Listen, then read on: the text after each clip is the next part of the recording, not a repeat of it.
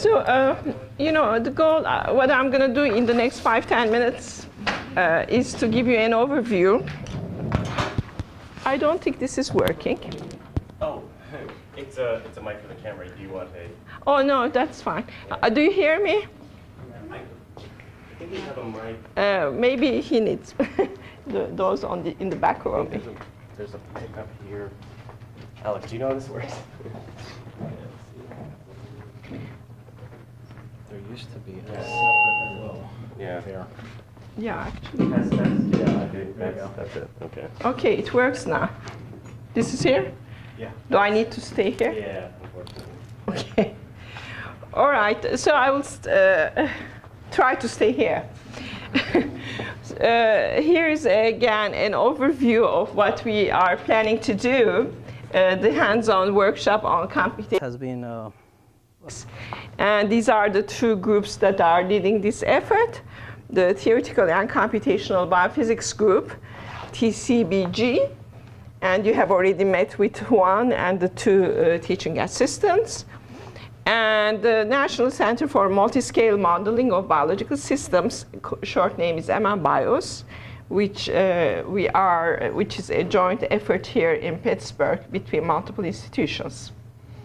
So these are both uh, biomedical technology and research centers, BTRCs, or sometimes they also call them biomedical technology and research resources, BTRRs, funded by NIH. So one uh, mission of those uh, BTRRs is, uh, of course, to accelerate research, to help uh, build new technology, but also to promote collaborations. And training and dissemination is a very important component. So uh, I would like to say that upfront that what we are aiming here is not only to communicate, you know, some of the latest developments in our uh, software technology development, but also to create an environment that hopefully will be conducive to collaboration. So it's good that there are people from different backgrounds, NMR uh, spectroscopist or biochemistry or mathematics. And uh, we're hoping that this will uh, lead to a nice conversation. And the end of this week won't be the end of our interaction. Okay? So that is uh, something important I want to emphasize. Now, let me first talk uh, briefly about the TCBG at the University of Illinois Urbana-Champaign. Uh, TCBG is much older than us. We were founded in, uh, the MM BIOS was founded in 2012.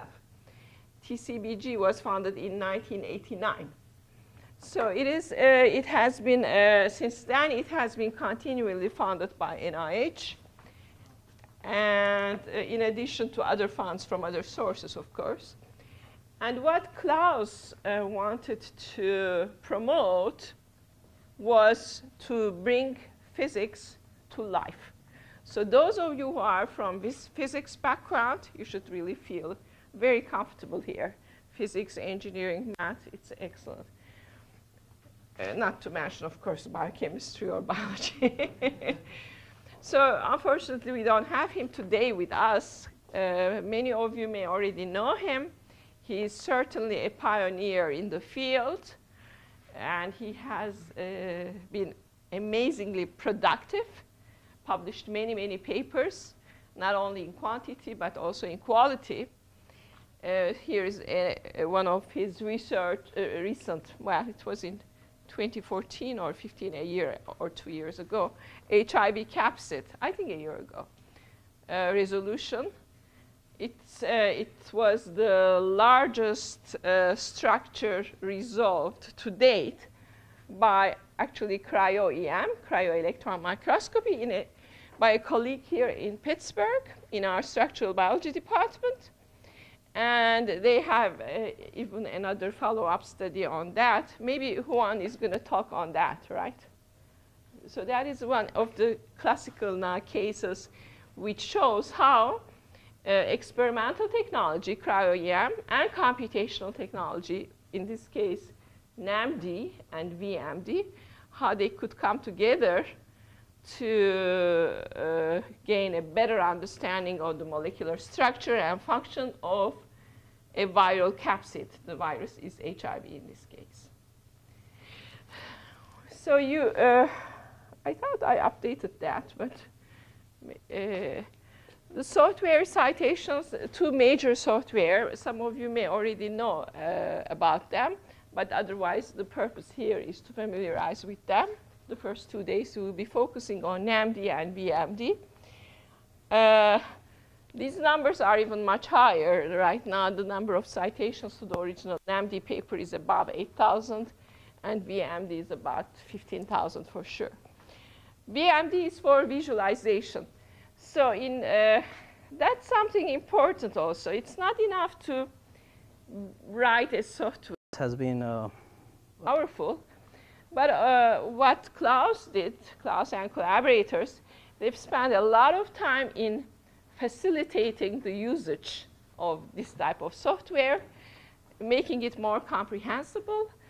And uh, of course, visualization is extremely important, and VMD is the visualization plugin of software that comes with NAMD, but which is also used in many other software, as you will see uh, on the fourth day, we're going to talk about ProDy, a new uh, software that we've developed, which has uh, right now 50,000 unique users. We are really thrilled to see that it's so broadly used. But we also took advantage of the VMD interface for visualization, so that's a big resource. Now, uh, the first two days, uh, Juan will talk about, uh, in general, about uh, these two uh, very basic and broadly used uh, software. Then on the third day, we're going to have Zen, Klaus wife actually, visiting uh, and teaching the third uh, uh, day's lectures. And then the way the workshop is organized, we have lectures here in the morning, and then in the afternoon we go to the next room where you have all uh, the computers set up. Uh, and you have uh, some, you know, interactive hands-on session. But also we would like to be as interactive as possible during the lectures. So you are more than welcome to interrupt or to ask questions, and this is always very useful. Now, whenever someone asks questions, at least 10 others benefit. So please be sure to do that.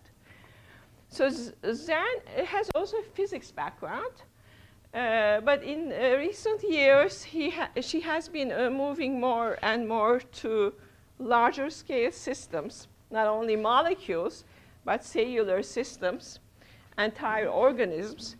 And she came up with uh, many different uh, models and methods to facilitate the simulation of their dynamics. So uh, she will talk about uh, these new methodologies, which have found very wide applications. So some of you may be familiar.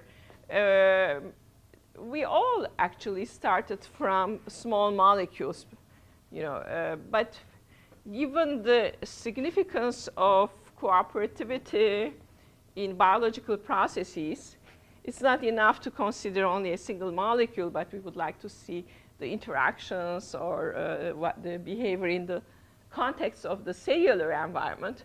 So that's why uh, there is a, you know, movement, there is a, a trend toward exploring larger and larger size systems, large assemblies like the viral capsid or entire uh, organisms. Okay. So I, uh, you may have seen this image already, and I'm sure Juan will, will talk about that too in his lecture. Uh, that is a classic, another apparent classical study.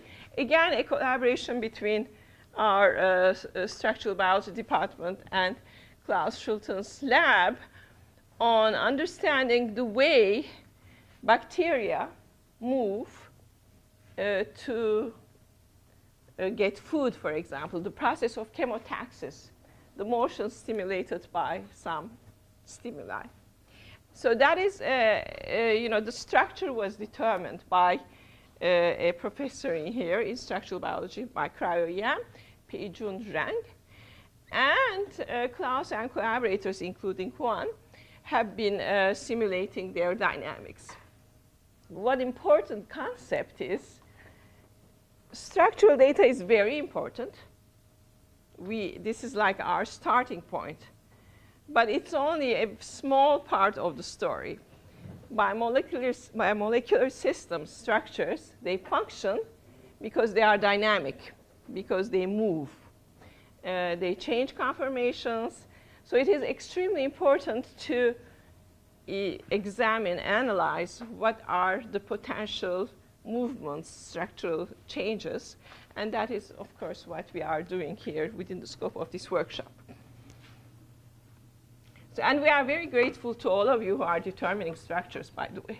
That's why I was emphasizing, oh, you're an X-ray crystallographer or an NMR spectroscopist. But uh, this is, and then we use those data to build our models. You've already met one. And now let me talk a little bit about MM BIOS. This is an initiative uh, with the overarching biological theme of understanding the spatial organization and temporal evolution of neurosignaling systems. And lately, we have also uh, focused on immune system signaling, immunosignaling. This is a joint effort between the University of Pittsburgh, uh, the Salk Institute of Biological Studies at San Diego, Carnegie Mellon University, CMU, and of course, uh, the Pittsburgh Supercomputing Center so this is uh, what we're trying to do in this center is to fill the gap between molecular and higher uh, level descriptions of biological systems. So we move from small molecules to subcellular regions or even lar larger, you know, multiple cells, multiple neurons in, in this case, you can see the neural circuitry. And one thing I would like to bring to your attention is the scale uh, we are talking about. Here, what you're seeing, and I heard many of you interested in membrane proteins, that is a transporter, glutamate transporter, viewed from the extracellular region from top. It has a trimeric shape. And around you have the membrane lipid molecules. So uh, we're talking about a length scale of 13 nanometer here. Okay. In this case, uh, we have actually multiple uh, neurons. Uh, there's some, they are dendritic spines, axons. This is quite a you know, complicated structure called a neuropil. And the size uh, is of the order of micro microns. And here we're talking about uh, uh, ser serial EM images. And this is almost uh, now uh, millimeters. We are approaching that size of millimeters. So we're talking about different scales. And the challenge right now, the challenge in uh, research is to understand the molecular basis of events that we observe even at the organ level, the entire brain, for example. So to bridge between those scales, this is a challenge. And there are very well developed methodologies for those individual uh, scales. But this is like, you know, uh, these, it looks like these are all different disciplines. We're trying to merge everything. We're trying to integrate all those efforts. So that's what MM BIOS is about. Our training and dissemination efforts are led by uh, two uh, leaders. Alex is there. Alex Ropelewski. Alex, you want to introduce yourself instead of me saying a few words? well, I talked a little bit about myself before you. Uh, oh, you did? Okay.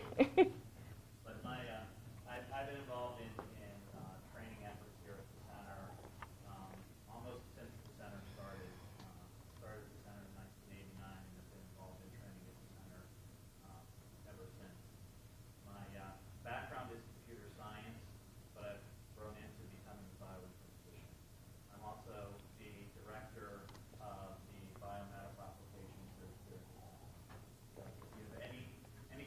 something or your computer's not working right or the wireless isn't working right, um, feel free to grab me.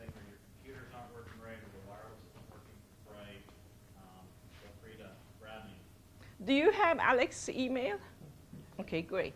So you know how, uh, who, uh, and you can contact all of us actually. You can easily find our email addresses on the uh, web if you need it. So Alex is, uh, uh, he's, he didn't mention that, but he was also the recipient of the very prestigious Carnegie Science Award for all his uh, contributions to uh, science education training. Uh, he has been directing uh, the MARC initiative. Are you familiar with that? MARC is for, uh, I think this is probably a picture from that, for uh, training educators or scientists in minority serving institutions. So he has made tremendous contributions to society as a um, bioinformatician dedicated to training new generations of computational biologists. Joe uh, is a faculty member in our department, computational and systems biology. Uh, he also distinguished himself by many uh, educational and training activities. He's really uh, very dedicated to training new generations of scientists.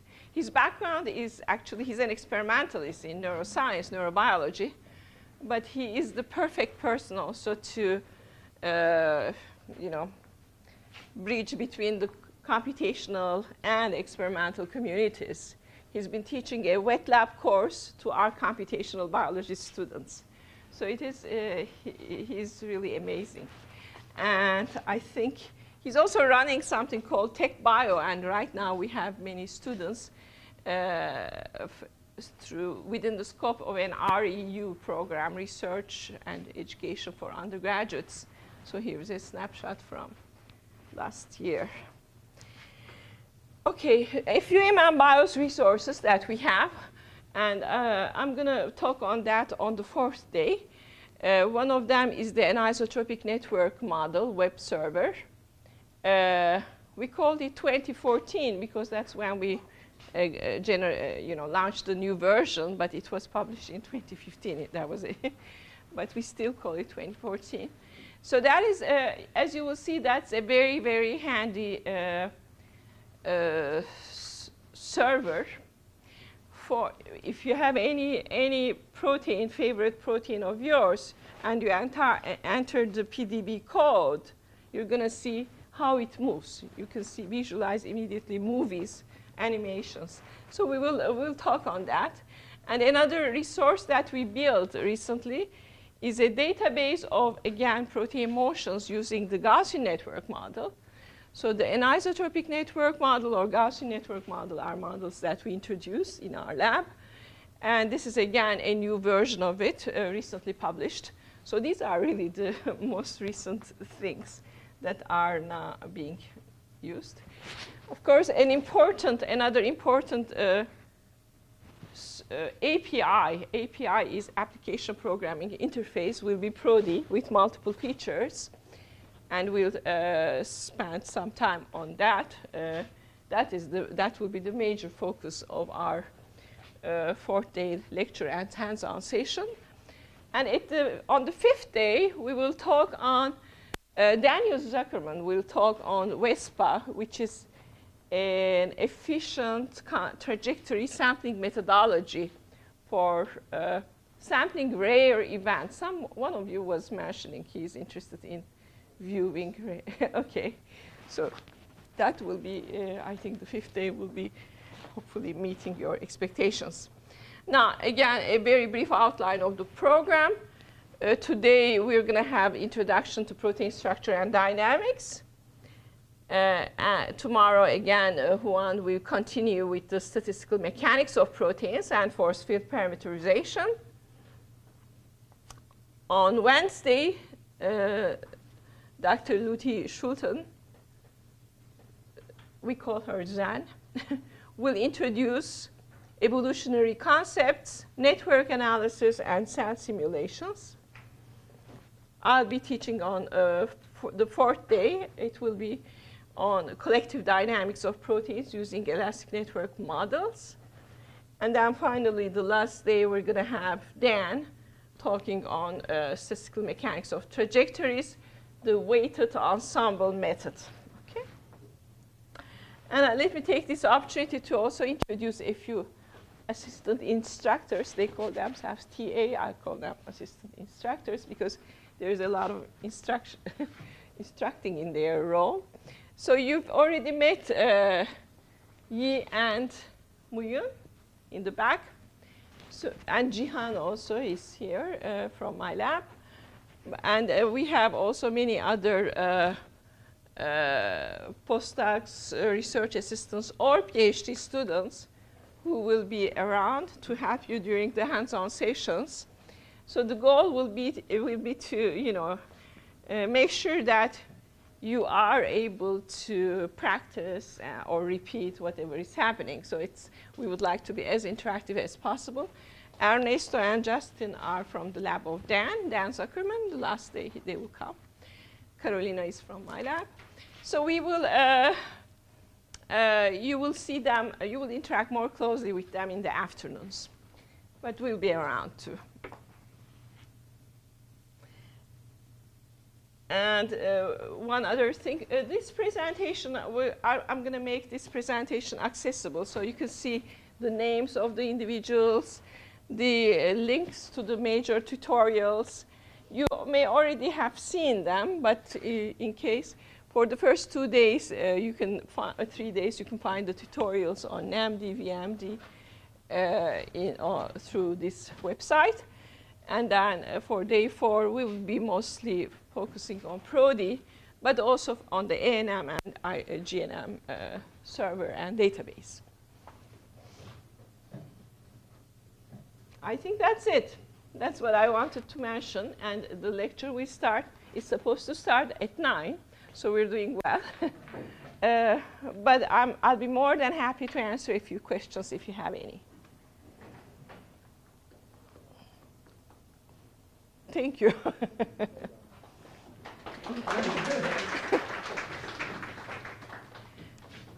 so it's my pleasure now to invite one. Yeah.